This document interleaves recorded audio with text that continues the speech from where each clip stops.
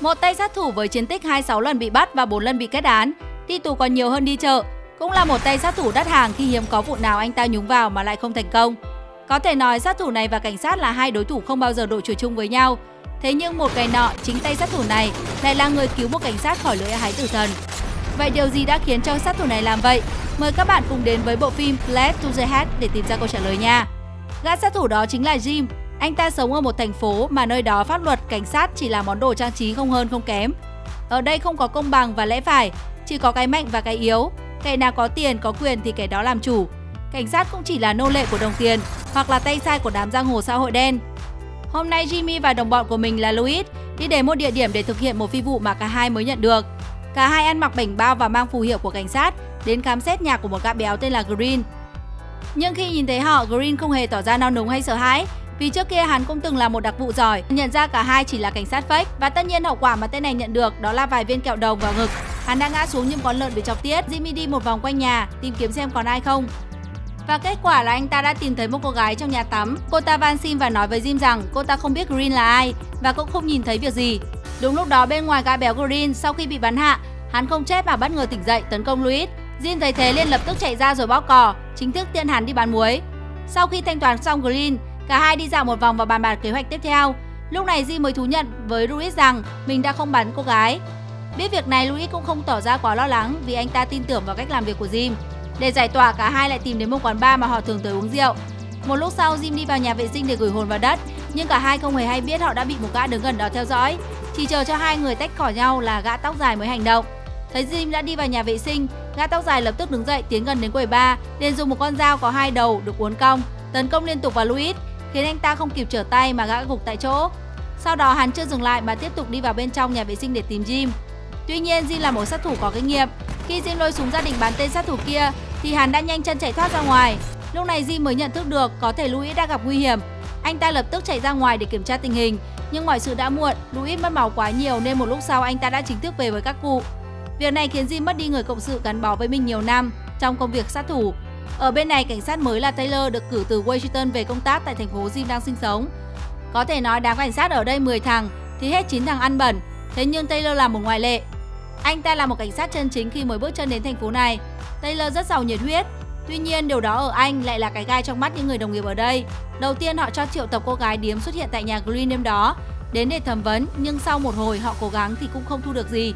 Cô ta chỉ nói rằng mình đang tắm và không biết gì về bọn sát thủ đó. Tất nhiên những gì cô ta khai không qua mắt được Taylor, nhưng anh chưa đủ chứng cứ để kết luận cô ta nói dối, vì vậy đành phải thả cô ta về. Theo những gì thấy được ở hiện trường và trên thân thể của Green, thì hắn ta đã bị kẻ nào đó thanh toán và bọn chúng đã thuê những sát thủ chuyên nghiệp để thực hiện việc này. Trong quá trình khám nghiệm xác của Green, Taylor cũng bắt gặp xác của Louis và từ đây họ nhận ra có thể hai cái xác này có mối liên hệ với nhau bởi vì Louis chính là một trong những sát thủ nổi tiếng ở vùng này. Thế là Taylor đã gọi điện cho Jim để hẹn gặp mặt nhằm tìm ra nguyên nhân cái chết của Green và kẻ đứng sau cái chết của Louis. Jim không ngần ngại đến gặp Taylor, nhưng khi anh muốn hỏi về Green và cái chết của Louis thì Jim thẳng thừng trả lời anh không nói chuyện với cảnh sát. Trước thái độ cứng rắn đấy của Jim, Taylor biết rằng mình sẽ không moi thêm được bất kỳ thông tin nào nữa, nên anh quyết định ra về. Tuy nhiên trước khi đi, Taylor không quên để lại danh thiếp và nói riêng rằng nếu cần gì thì hãy cứ gọi mình. Ngày hôm sau khi Taylor đang đi trên phố, anh bỗng nhận ra có kẻ lạ mặt đang theo dõi mình. Thế là anh quay lại chạy vào bên trong bãi đỗ xe. Lập tức hai kẻ này cũng đuổi theo anh vào trong đó.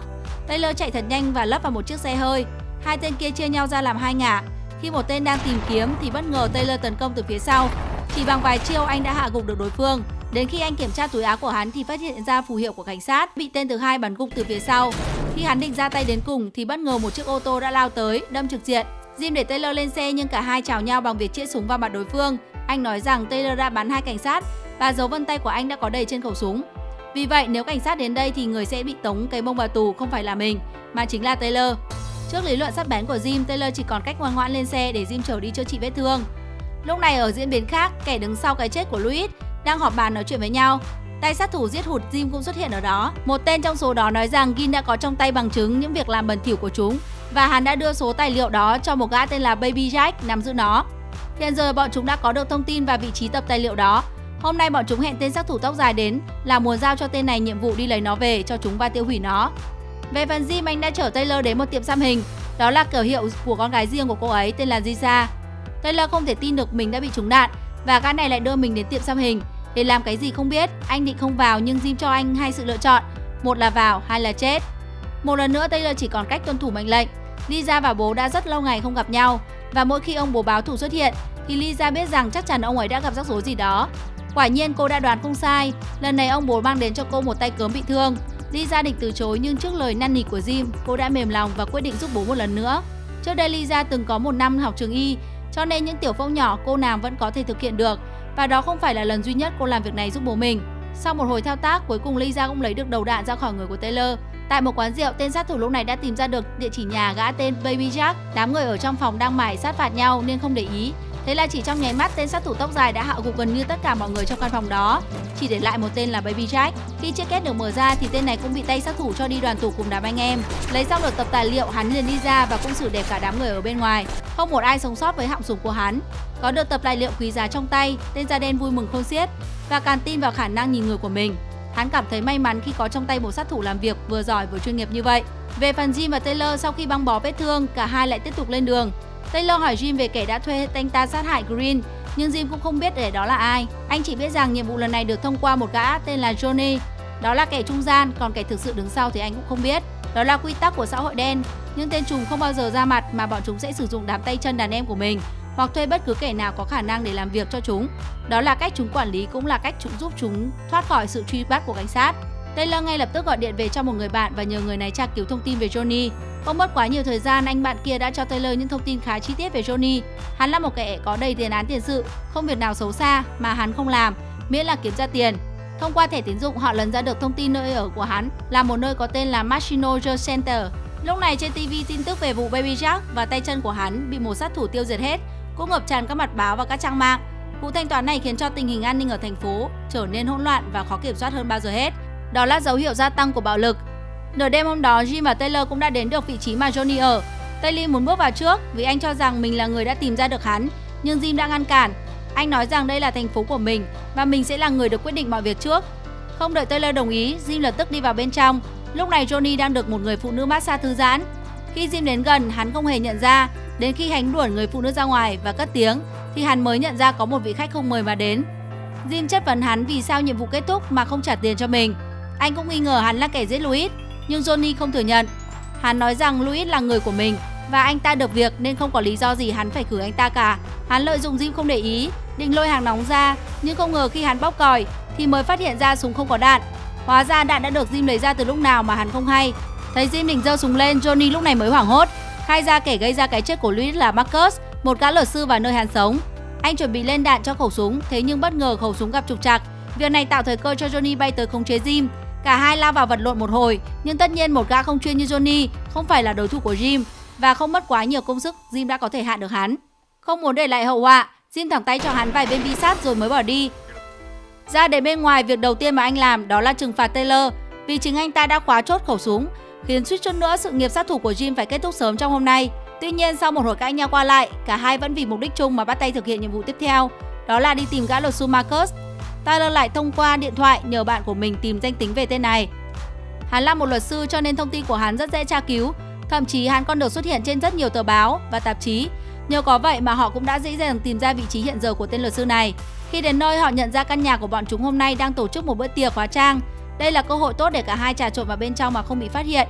Sau khi hóa trang, Jim và Taylor đã thành công trà trộn vào đám khách mời mà bọn chúng không hề ai biết. Không mất quá nhiều thời gian, họ đã tìm ra được gã luật sư, dù hắn có đeo mặt nạ bởi gã này là một kẻ rất dám gái. Nhưng cô gái hắn thuê về trong bữa tiệc toàn là gái thoát y và hắn đang rất tâm đắc với bữa tiệc của mình nên không để ý tới nguy hiểm đang rình rập xung quanh. Trong lúc hành động, Jim còn phát hiện ra tên sát thủ ấy đã lấy mạng Louis và suýt chút nữa cũng lấy mạng mình. Anh định tính sổ với tên này, nhưng đây là một nơi nhiều người và cần phải ưu tiên cho nhiệm vụ quan trọng hơn. Vì vậy Jim đành phải cho hắn cơ hội sống thêm một chút nữa. Jim theo sát cây Marcus khi hắn vào nhà vệ sinh. Jim đã lấy ghế chặn cửa và dùng dao kề vào cổ hắn, khiến tên này không dám nhúc nhích. Sau đó Jim đánh cho hắn bất tỉnh và gọi Taylor vào giúp một tay. Họ giả vờ dìu bạn say ra về để qua mặt đám bảo vệ mà không tên nào phát hiện ra. Đến khi an toàn thì trong lúc cả hai không để ý, tên luật sư bất ngờ tỉnh dậy và hắn định một đánh hai, nhưng hắn tuổi tô mà đòi nói chuyện với một tay sát thủ chuyên nghiệp và một cảnh sát. Chỉ chưa đầy một phút gây sóng gió, Marcus đã bị hạ gục lần thứ hai. Lúc này tại bữa tiệc, tên da đen và đồng bọn của chúng mới nhận ra người của mình đã bị mang đi và bọn chúng bị qua một một cách dễ dàng mà không ai biết. Tên da đen liên tục chỉ trích gã sát thủ, làm việc tác trách nhưng tên này nói rằng hiện giờ hắn biết Marcus đang ở đâu nhờ định vị mà chúng cài đặt trên điện thoại của Marcus. Chúng sẽ không mất quá nhiều thời gian để tìm ra người của mình và khử luôn đám người kia. Nhưng tên da đen lại không quan trọng lắm chuyện cứu người. Hắn ra lệnh cho tên sát thủ của mình chỉ cần khử được hai tên đột nhập kia, còn lại cứu được Marcus hay không không quan trọng. Về phần Jim và Taylor, sau khi bắt được tên luật sư, họ đã đưa hắn về căn nhà bên hồ để thẩm vấn. Taylor là người phụ trách chính việc này, thế nhưng dù anh có hỏi gì thì gã luật sư già mồm vẫn không khai. Thậm chí hắn còn thách thức cả hai và yêu cầu họ thả mình ra, hắn sẽ cho họ cơ hội được thoát thân. Thấy tên này cứ lải nhải mãi không chịu nói ra ai là kẻ ra lệnh cho chúng giết Green và Louis. Thế là jin đã dùng báng súng tẩm quất cho hắn một trận. Lúc này tên luật sư mới chịu khai ra kẻ giết Louis là gã cao kiều sát thủ. Sau khi thuê jin và Louis giết Green, bọn chúng không muốn bất kỳ thông tin nào dò dỉ ra bên ngoài, cho nên chúng đã cử gã cao kiều đi thủ tiêu cả hai để bịt đầu mối. Green có trong tay bằng chứng phạm tội của bọn chúng và gã này muốn dùng nó để tống tiền bọn chúng vì vậy bọn chúng không thể để hắn sống được. Còn gã đứng đầu tất cả chuyện này là Morrow, một tên lừa đảo tầm cỡ quốc tế. Hắn đã lừa cả một tấn tiền từ Tây Phi, sau đó làm giàu thêm bằng việc mua bán bất động sản rẻ. Khi có tiền hắn lại bắt đầu mua chuộc chính phủ và muốn tái cấu trúc lại thành phố. Bọn chúng cho rằng chúng làm điều đó để đem lại điều tốt lành cho nơi đây và nhiều người được hưởng lợi từ những gì chúng làm. Marcus cho rằng chỉ những kẻ ngu dốt như Jim và Taylor mới không nhận ra điều đó. Trong lúc hang máu, hắn còn không quên khai ra chiếc USB trên cổ hắn có chứa rất nhiều tài liệu quan trọng liên quan đến việc làm của bọn chúng. Khi đã có đầy đủ bằng chứng trong tay, Jim không muốn nghe thằng điên này lải nhải nữa, thế là anh dứt khoát giơ xuống bóc còi tiên hắn về với Diêm Vương. Khi cả hai đang mải tranh luận thì bất ngờ họ bị gã cao kèo và người của hắn tấn công. Bọn chúng dùng hàng nóng bắn nát căn nhà gỗ của Jim. May mắn cả hai bọn họ đều có kỹ năng nên họ mau chóng nằm sát xuống nền nhà, đi theo lối bí mật nhảy xuống nước từ đó thoát thân. Khi bọn chúng vào được bên trong thì lại không thấy bất cứ ai. Lúc này Jim và Taylor đã lên được bờ bên kia và Jim đang cầm trong tay công tắc của quả bom được cài sẵn ở nhà mình. Lúc gã cao kề phát hiện ra cũng là lúc quả bom phát nổ. Cũng nhờ nước mà gã thoát chết lần này, nhưng cũng vì thế mà hắn càng nuôi thêm thù hận. Sau khi thoát khỏi sự truy đuổi của tên cao kèo, Taylor và Jim quay trở lại nhà của Lisa, con gái của Jim. Tại đây nhờ máy tính của Lisa, Taylor kiểm tra chiếc USB, lấy được từ tên luật sư họ tìm thấy nhiều tài khoản ngân hàng và nhiều cái tên trong bộ máy chính phủ có liên quan đến việc làm ăn bẩn thỉu của bọn chúng. Có được những bằng chứng này, Taylor nghĩ rằng mình đã đủ bằng chứng để cho bọn chúng bóc lịch suốt đời. Thế là anh ta liền gọi điện cho tay cảnh sát trưởng để thông báo mọi việc và không quên kể về chiếc USB. Taylor định kết thúc mọi chuyện ở đây. Anh cũng nói với Riza rằng sắp tới anh có thể sẽ bắt Jim với tư cách là một cảnh sát bởi vì ông ấy đã làm quá nhiều việc xấu. Lisa biết những việc bố mình làm cũng không tốt đẹp gì, cho nên cô cũng không có tư cách gì để có thể ngăn cản Taylor. Sau đó anh và Jim lại ra xe di chuyển. Taylor định đi gặp tay cảnh sát trưởng để ông ta cho cảnh sát đến hốt cả lũ, còn Jim lại nghĩ rằng họ nên đi gặp gã ra Demoro. Cả hai vì thế xảy ra tranh chấp.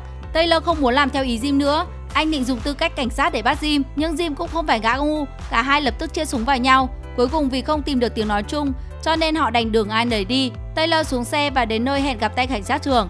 Khi Taylor còn ngây thơ nghĩ rằng chỉ cần báo cho ông ta thì mọi việc có thể sẽ được giải quyết. Tuy nhiên khi Taylor vừa kể xong mọi chuyện thì tay cảnh sát trưởng đã chia súng vào đầu anh. Nhưng hắn chưa kịp bóp cò thì đầu của hắn đã nổ tung bởi phát súng của Jim. Lúc này Taylor mới biết hóa ra từ trước đến giờ anh chỉ là con lừa trong đám cảnh sát bẩn. Bọn chúng đều là người của Morrow và khi biết anh đã có trong tay những bằng chứng tố cáo việc làm bẩn thỉu của bọn chúng thì việc để cho anh sống thêm một ngày lại sẽ mang đến tai họa cho chúng. Vì vậy, tên cảnh sát trưởng có nhiệm vụ gặp và trừ khử Taylor để phòng trừ hậu họa sau này. Khi cả hai còn đang tính kế hoạch tiếp theo thì Gakaquel đã gọi cho Jim và muốn gặp anh. Hóa ra trước đó khi để sống mất cả hai, hắn ta rất tức tối và tìm cách trả đũa bằng cách đến tiệm xăm của Lisa và bắt cóc cô ấy mang về. Trước kế hoạch và cách làm việc của Gakaquel, Moro biết hắn rất có tài và có thể là cánh tay đắc lực cho mình nhưng Morrow cũng đưa ra quyết định là sau vụ này sẽ cho một người trừ khử gã cao kèo. Bởi theo nhận định của Morrow, gã này là một kẻ không thích tiền và là những kẻ không thích tiền thì thường có dã tâm rất lớn. Để những kẻ đó bên mình sớm muộn rồi cũng có ngày gặp họa. Một lúc sau tại địa điểm mà bọn chúng chỉ định, Jin đã xuất hiện. Morrow và người của hắn cũng ở đó. Hắn hỏi Jin về Taylor, nhưng anh tỏ ra không quan tâm đến Taylor. Anh nói rằng nếu Morrow trả lại cho mình một số tiền khoảng 500.000 đô thì anh sẽ giết Taylor cho bọn chúng. Morrow rất thích điều đó nhưng hắn cho rằng cái giá đó là quá cao và chỉ đồng ý trả 250.000 đô. Sau khi cả hai đạt được thỏa thuận thì tiến hành trao đổi con tin và chiếc USB. Cuộc trao đổi diễn ra khá thuận lợi. Mauro đã giữ đúng lời hứa của mình. Sau khi kiểm tra chiếc USB đúng là hàng của họ, bọn chúng cũng đã giao Riza lại cho Jim và cho hai người rời khỏi đó. Việc Mauro tha cho hai cha con Jim một cách dễ dàng khiến cho gã cao kèo không phục. Tức giận và mất kiểm soát, gã cao kèo rút súng tiễn cả đám người của Mauro xuống suối vàng cùng một lúc. Gã cao kèo không ngần ngại tặng cho ông chủ của mình một viên cạo đồng và giữa thái dương. Sau đó hắn chạy ra ngoài và trừ khử nốt bọn đàn em của Moro. Tất cả cảnh tượng này đều bị Taylor dùng điện thoại quay lại được. Khi anh định bỏ đi thì lại đụng ngay tay sai của Model.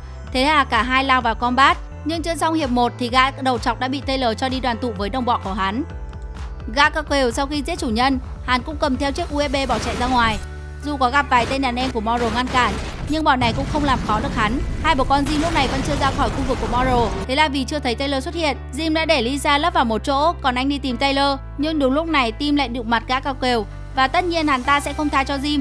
Jim cũng không muốn tha cho hắn, kẻ đã dám bắt cóc con gái của mình. Cả hai quyết định sẽ phân thắng bại bằng một màn giao đấu giáp lá cà. Gã cao kêu đập chết tủ kính gần đó, lôi ra hai chiếc rìu và ném cho Jim một cái. Một gã sát thủ trẻ tuổi sung sức hung hăng khát máu và đầy dã tâm.